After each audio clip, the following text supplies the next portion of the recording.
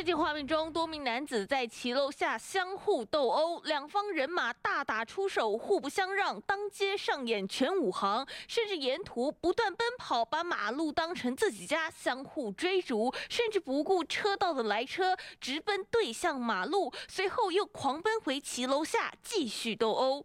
事发在上个月三十号晚上十点多左右，台北市中正区罗斯福路三段。原来双方会发生冲突，是因为原本。两派人马中有两人骑机车相互对撞，行车纠纷之后，两人互相闹人。原本双方已经决定不出手，没想到另外一方人马来得太慢，一到现场就动手打人，于是当街打成一团。坐下！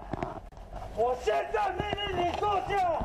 警方获报后抵达现场压制，最后警方一共将十二人依群聚斗殴罪送办。记者台北综合报道。